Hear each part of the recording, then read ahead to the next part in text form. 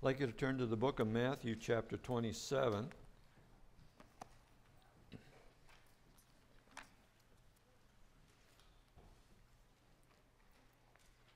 We probably this morning will only be looking at two passages of Scripture. Matthew 27 and John 19. We'll be looking at one other one if you want to find it in your Bible. You can look for the book of Amos. The book of Amos. You say the book of who? A M O S. It's in the Minor Prophets, near Matthew, much closer to Matthew than the book of Genesis. We'll be turning there a little bit. The darkest hours. Dr. Park Tucker, former chaplain of the federal penitentiary in Atlanta, Georgia, told of walking down the street one day and he was down. Even preachers get down, people get down. The question is when was the darkest hour in your life? Can you look back and see a time in your life that you've been down at the bottom, emotionally, maybe physically? Well, Dr. Tucker was down. He was walking the streets in Atlanta, Georgia. And he was feeling really low that day, just like there was a cloud over him, a dark cloud. And he uh, was just concerned about life, things happening. I'm sure his job as a chaplain is not easy, especially in a penitentiary. And as he was walking down, he, he was passing a funeral home. And there was a big sign in the window. And it read, Why walk around half dead? We can bury you for $69.50. We also give green stamps. Now you know how old that is. What's a green stamp? Uh, the sign actually cheered him up. He laughed as he walked down the street and it was good medicine for his soul. You know, as we walk in, through in life and uh, we are challenged and struggling, we find that worry and darkness often cling to each other. And sometimes there's no path for recovery, or at least we feel that way. Uh, we surrender to the fate of defeat sometimes in our life, and that things just keep, keep going in a negative way. And, and as it says, sometimes when it rains, it pours. And instead of having just one problem, you have five or ten. And we struggle with that. And, and we get under this cloud and we don't find a way out. We just cannot see the light at the end of the tunnel. The dark hour right now in your life. You may be facing it right now, today. I know this last week was a dark time for the Miller family. I went up to the hospital at least four times. And the last time I was called, Bob said, I think she's dying. That was 8 o'clock in the evening after our date night. And um, went up to the hospital and she nearly lasted another five hours after that, and she was grasping for breath. The, the, the gurgle in the throat e- with each breath that came in. She was struggling physically. She was in comatose, no pain, but the family was in pain. And looking for answers in fact, I had been there two days before and she was ready to die, and she said, I, am ready to go. I hope the Lord takes me. tough times when we go through those dark hours. And wondering about is there any way out of the darkness, out of that struggle in life? Jesus, in our story today, is facing his darkest hours.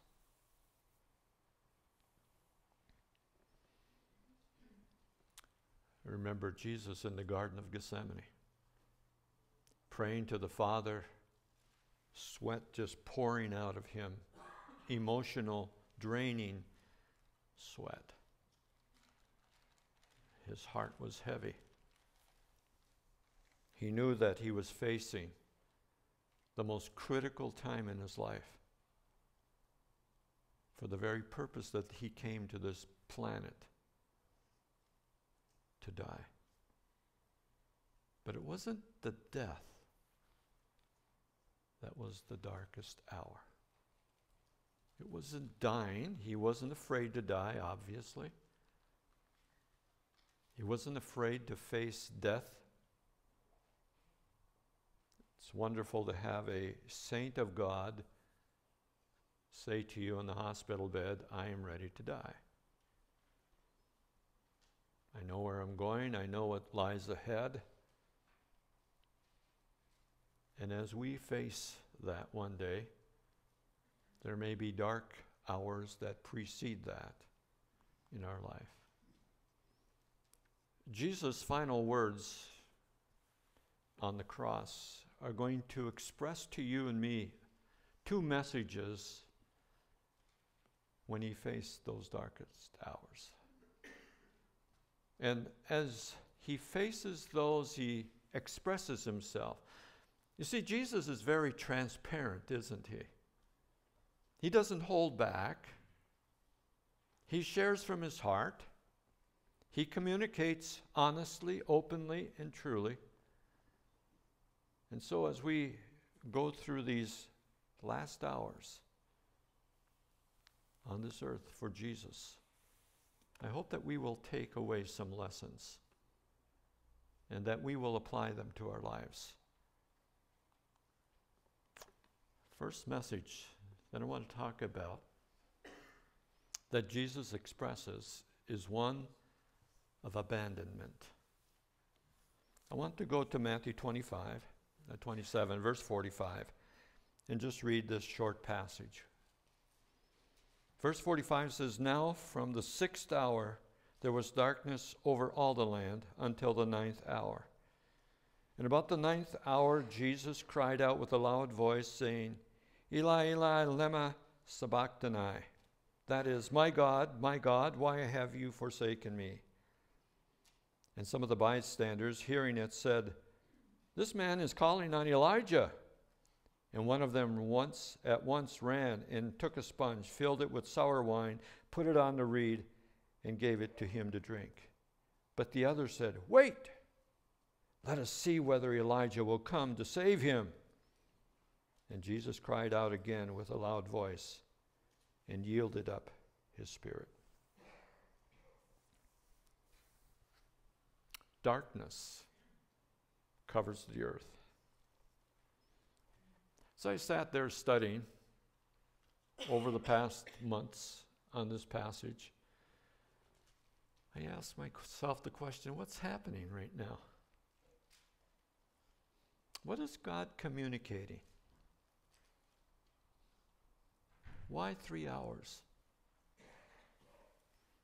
Why not six? Why not one? A lot of people would look at three and say it represents something. That's fine. But the darkness, the darkness is total black. Why is the darkness happening at this time? I mean, is there significance to the fact that the darkness itself is expressing to those that are around the cross? I want you to go to Amos, as I've asked you to find it. Hopefully, you've found it. If you haven't found it, there's still time. Amos chapter 8, I think, is being fulfilled. My opinion. You know, I've read through Amos many, many times. This is the first time I've seen this prophecy. I want to go up to verse 3 because I want you to get a little bit of the flavor that's coming through in this passage. Verse 3 says, And the songs of the temple shall become wailing in that day, declares the Lord God. So many dead bodies there are thrown out everywhere. Silence.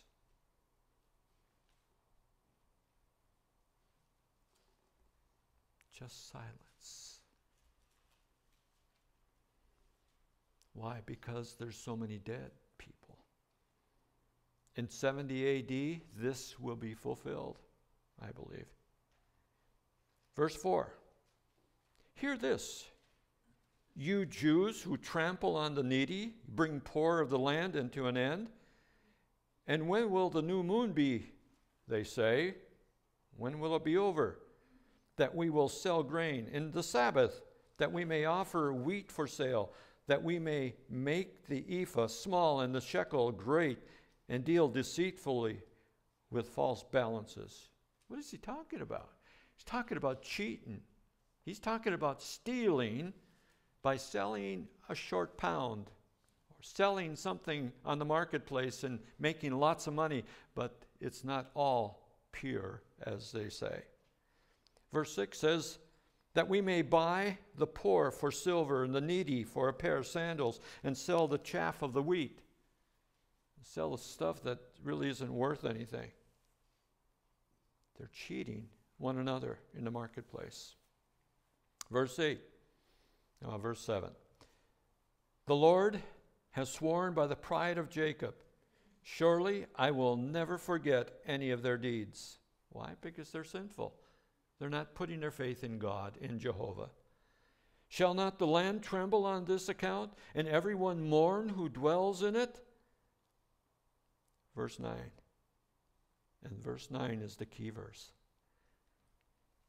And on that day, declares the Lord God, I will make the sun go down at noon and darken the earth in broad daylight.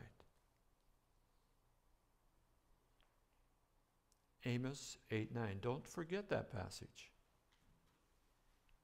We find ourselves in the book of Matthew that at noon, the sun turned black. I'm saying, what happened? God didn't have the earth revolve instantaneously. God somehow shielded the sunlight from the earth, reflecting it all away, not the heat, but the light of it. So that at noon, instantaneously, not because of a eclipse, but because of the power of God, he stopped the sunlight from hitting the earth. I believe that the entire earth was in darkness at noon, Jerusalem time that day. I believe the entire planet went around groping, as it were night, without a moon, without stars, and they were groping to find their way wherever they were some of them on journeys, some of them in their homes, some of them shopping. Imagine waiting for the lights to turn on for three hours in the shopping mall, waiting and waiting and waiting. I will make the sun go down at noon, God says. I will darken this planet. It's a time of mourning, the sins of the people of Israel are going to be seen by God. He knows every person when they cheat someone else. He knows every person that takes in bribes. He knows every person that is a thief. He knows. And if we are not covered by the blood of Christ, God will not forget our sin. The prophetic words are now being fulfilled in the book of Matthew. I just want to go a little bit further. Would you come with me to Amos chapter 8 and look a little bit farther with me? Verse 10 says, I will turn your feast into mourning and all the songs into lamentation. I will bring sackcloth on every waist and baldness on every head. I will make it like mourning, the morning for an only son, and the end of it like a bitter day. What a sad, mourning, grieving time. The Jews are going to face that down the road. It says here in verse 11 Behold, the days are coming, the Lord God says, when I will bring a famine on the land, not a famine of food or bread or for thirst of water, but a famine of hearing the word of God.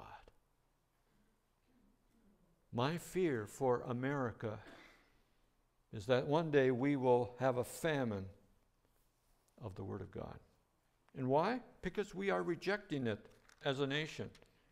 We are rejecting what God has given to us, has bountifully. We have Bibles more than we can count in our homes. And yet we reject. And so we find that the bitter day of lamentation is going to come for the Jews. And the days are coming when there's going to be a famine for the words of the Lord. Verse 11. And they're going to seek the word of the Lord and not find it. Isn't that terrible? To want to seek truth and not be able to find it. Jesus' words of being deserted are here as we read in verse 45, 46. Verse 46, I'm looking back at Matthew 27. It says, About the ninth hour, Jesus cries out with a loud voice, My God, my God, why have you forsaken me? That expression is full of emotion. It's appeal to God, saying, Why have you taken and deserted me? The agonizing expression of alienation you would put yourself in Jesus' place, although we could never do that. I want you to understand what's happening, and I'm not sure that this is all clear to me. But as I've studied, I've come up with some conclusions. He says, My God, my God. It's in the genitive in the Greek, and that means it's possessive. My God. When you go to prayer, is it my God? Or do we just pray our Heavenly Father? My Heavenly Father. Personal connection, relationship. This is how he prayed. Then he said, You've forsaken me. You've left me alone. There's no one to help me now. What happened? Here, Jesus is hanging on the cross. How was he forsaken? How was he alienated? How was he deserted? Did Christ's deity leave him? Think about this. He was the man God or the God man. Did his deity, did his God part of him leave? We find in the book of Matthew that, in the book of Luke, that Mary was going to have a child and that the Holy Spirit would overshadow her, that He would take and He would make that sperm that would create that child inside of her womb. The Holy Spirit came in. Is the Holy Spirit now leaving Jesus? What's happening in that darkest hour of time? There is a disconnect between the Father and the Son. And I want you to understand, I believe that the Holy Spirit was always the interceder between the Father and the Son. That is, Jesus did all of his miracles with the power of the Holy Spirit. God the Father was in heaven and he gave permission to the Holy Spirit in order that Jesus might do those miracles, that he might know things that most people wouldn't know, that he would be able to even forgive sins, as we saw last week. Did Jesus feel like an unsaved person? Huh. He was bearing the sin of the world at this moment of time. My sins were being placed upon him when the darkness came. Your sins, if you're a Christian, were placed upon him when the darkness came. Well, what does an unsaved person feel like? They were dead in trespasses and sins, which means that there was spiritual death, not physical death, spiritual death that happened. Jesus had to bear the sin of the world, and when he did that, was he spiritually dead? Before we were Christians, we were spiritually dead in trespasses and sins. Did he become like that for that time and bore the sin of the world? Did this last through the burial and until the resurrection? That is, that Jesus took upon himself the sin of the world, and he bore that sin for those three hours and beyond, even to death, and even to the burial, and even to the resurrection. Because it isn't until the resurrection that he comes to life. Want you to think about those things. At least you know how my mind works and what I think about sometimes. 1 Corinthians chapter 15 verses 3 and 4 says how Jesus Christ died on the cross for our sins according to the scriptures and that he was buried and that he rose again according to the scriptures. The, the gospel is he just didn't die on the cross. The gospel is his death, his burial, and his resurrection, the completeness of the gospel. Did he bear our sins from beginning to end at the 12th hour of the day or our noontime until the resurrection? You can think about that. Just real quickly, the bystanders were by there and they were saying, Oh, he's calling on Elijah. They gave him some sour wine. He receives it. They wanted to wait to make sure. Jesus in the Garden of Gethsemane is in despair. He is facing the coming hours. This is the hour he feared. He feared the moment that his Father would separate himself through the Holy Spirit from him in order that he might bear the sin of the world. Because Habakkuk chapter 1, verse 13 says, God cannot look at sin. In the garden, the angels came and ministered to Jesus on the cross. There were no angels. Nobody ministered to him. He was dying on the cross alone. And Jesus would die alone for you, for me. Deserted, forsaken. One passage of scripture that we have for ourselves is that I will never leave you nor forsake you. Hebrews 13, 5. It's a wonderful verse. It's a verse of security, a verse that God comes alongside us and says, I love you so much. And when you accept my son as your personal Savior, I will never, ever leave you nor forsake you in your life. God's presence is in our life, around our lives, surrounding us, protecting us. Deuteronomy 31, verse 8. And then, of course, we have this wonderful passage in Romans chapter 8, verse 39 that nothing is able to separate us from the love of God. So thankful for God's willingness to come and to be a part of our lives. But I need to go on. The second message that I find here is one of accomplishment, one of abandonment, but also one of accomplishment. I'd like you to turn to the book of John, chapter 19. It says in verse 28, it says, After this, Jesus, knowing that all was now finished, said, To fulfill the scripture, I thirst. Jesus was ready to finish his course. He understood, he comprehended, he had the ability to understand what was happening. Notice he says, I thirst. For the first time, he's concerned about his, his own physical being, concerned about himself. All the way through, he's concerned about others, he's concerned about the people of Jerusalem. But now he understands. He understands the fact that he is going to have to yield up his spirit.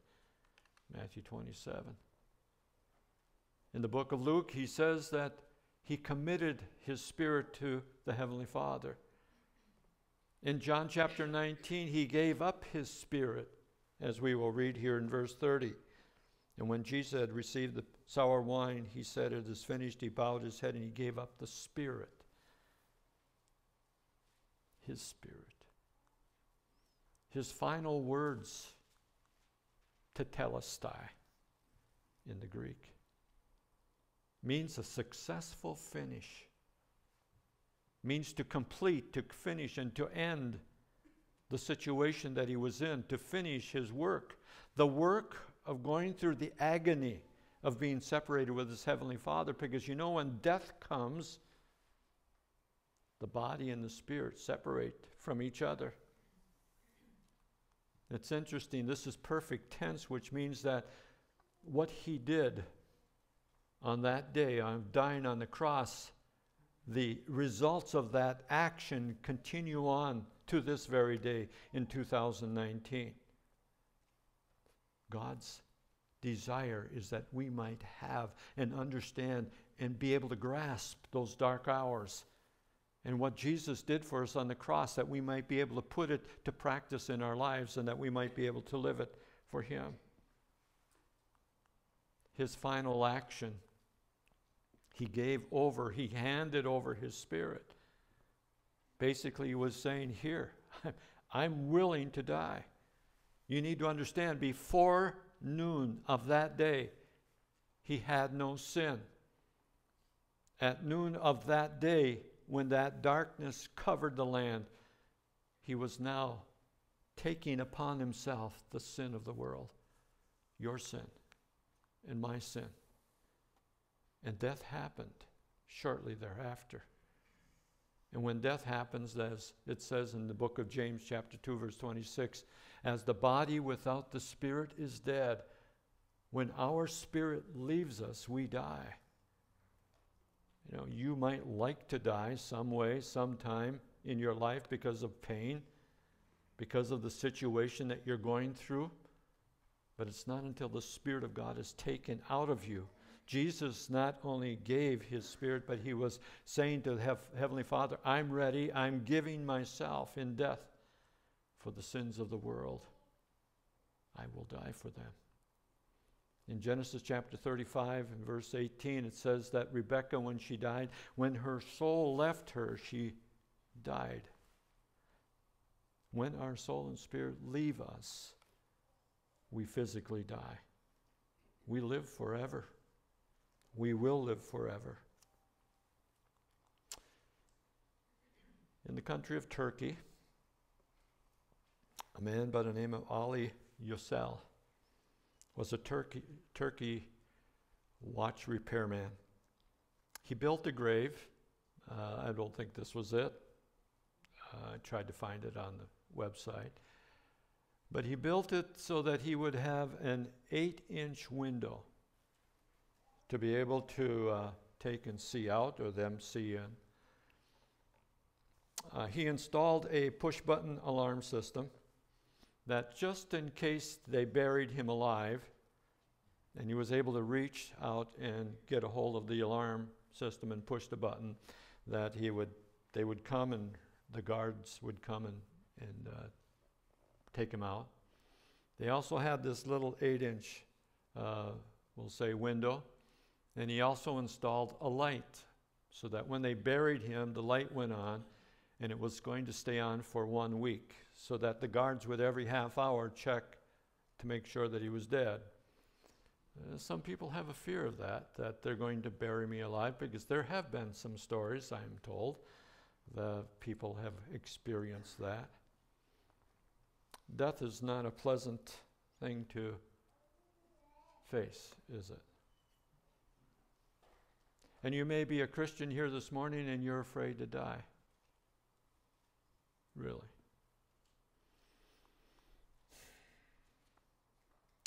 Even though you believe that Jesus paid it all, even though you believe that the blood of Jesus Christ, God's Son, cleanses you from all your sin,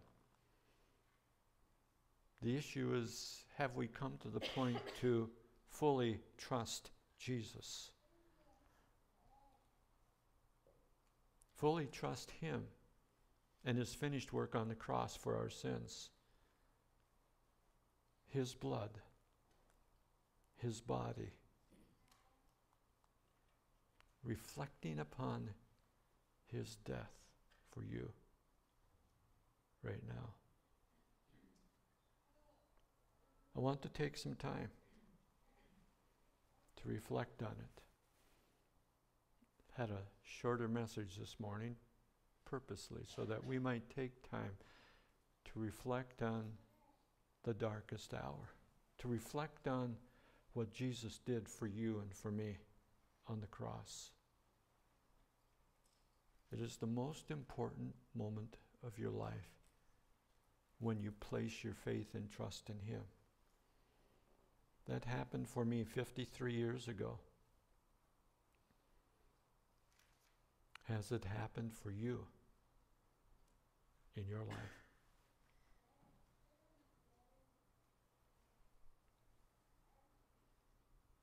If you were in that hospital bed and it was you dying, gasping for air, would you have the peace of God? Would you relax in knowing that whether you died in five minutes or five hours, that you would go home to be with Jesus Christ?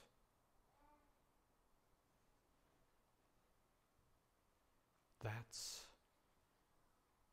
when your faith is put to the greatest test. That may be the darkest hour of your entire life. Or is it something that just you're okay with? We'll let God take care of that.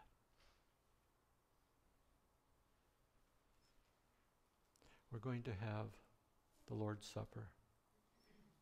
If you're here this morning and you've never trusted Jesus Christ as your Savior, we invite you to do so right now don't have to be a member of Grace Bible Church to partake with us. You need to be a member of the family of God to really understand what it's all about. We invite you to partake. And the reason we partake of this table, in order for us to reflect and remember what Jesus did on that cross, what he did in that darkest hour that he died and shed his blood for our sins. You and I are going to be thanking God forever and ever and ever. No end for what he has done for us. And the magnitude of what he did for us on that cross 2,000 years ago probably will never be realized until we get into the very presence of God and realize he died for me. He saved me from my sins. He gave me eternal life. It is then that we will really be thankful. I'd like to have the Board of Elders come up here this morning. And Greg, would you help us out this morning?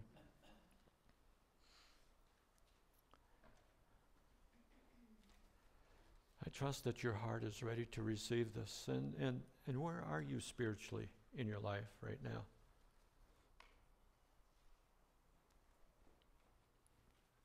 Are you walking close to the Lord? Are there things in your life maybe that need to be changed? Things in your life that may need to be worked through with God?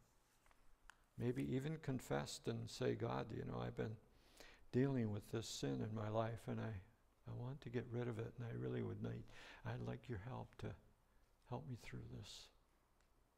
I don't know where you are. You and God. It's the way it is. Let's bow our heads in prayer.